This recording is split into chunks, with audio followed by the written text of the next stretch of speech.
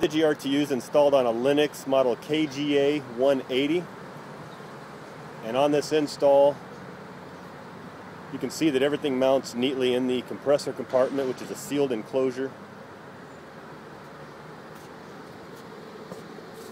You have the VFD, which in this case, it's a model A1000.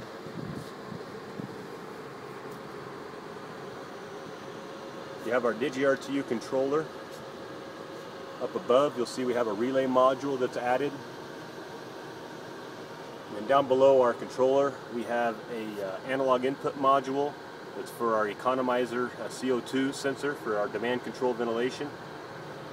Line voltage wiring splices, we provide T-taps, or we provide large blue wire nuts depending on the size of the unit.